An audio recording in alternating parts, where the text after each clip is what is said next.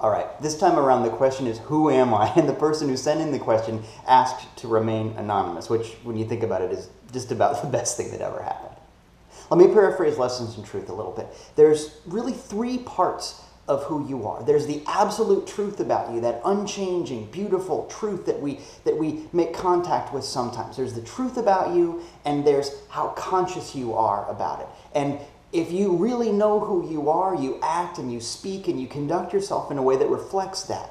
But if you don't know very well who you are, you act and think and speak in a way that reflects that too. So there's the truth about you, there's how well you know the truth about you, and then finally there's the life that you experience as a result. How successful you are, how happy you are, how, how good your relationships are, how much money you end up having. All of that stuff at the bottom is 100% dependent on how well you know who you really are. So instead of worrying about the physical stuff and the experiential stuff, the trick is to get smarter, spiritually speaking, to get closer to the truth about you. And to the degree that you do that, that other stuff will take care of itself. Now, of course, I can't tell you each and everything about who you are. That's really for you to figure out. And in the figuring out, you get better.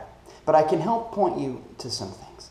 First of all, you know how they say, the things that bother you about other people are the truth about you. There's something that you need to work on. If there's somebody who's really bugging you because they do X, Y, and Z, well, you got to remember that that X, Y, and Z is something that's resonating with you. So it's something that you need to work on. Well, you know that. You've heard that in a million places. But let's turn that around and also say, that the things that you admire about other people, the heroes that you have, the people that you look up to, the people that you enjoy spending time with, your true friends and your true loved ones, and the people that you really connect with. Well, the reason that you connect with them is that that thing, that quality, that beautiful thing about them is speaking to something beautiful about you.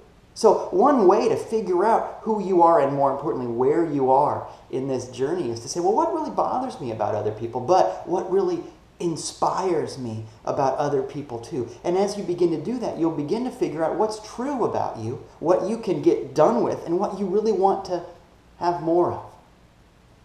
Let me say this differently. Who you are is amazing, beautiful, perfect. Where you are right now, well, that may change. Maybe there's stuff you got to work on. Maybe you got some growing to do. I know I do.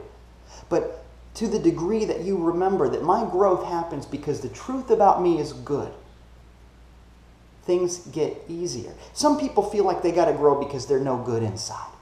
But to them, I say this the fact that good feels good and bad feels bad. The fact that you have this call inside yourself to want to do better and be better and have happy things happen to you. The fact that good feels good is proof that you have something in common with it. So I reject the idea that you're no good inside. In fact, quite the opposite. The truth about you is beauty. So find things and relationships and situations that bring that out, and you'll know who you are, and more importantly, the world who is hungry for that truth about you, that beauty about you, will get to see the truth about you. Who you are is perfect right now. So start acting like it, and life will get better. Thanks for these amazing questions. Thanks for this opportunity to talk with you. Thanks for watching me play with my new uh, GoPro camera. Hopefully, the quality is good and all that kind of stuff. Thanks for subscribing to these videos. Please subscribe more. Please tell your friends about it. Please send in these questions. It means the whole world to me. Take care of yourself.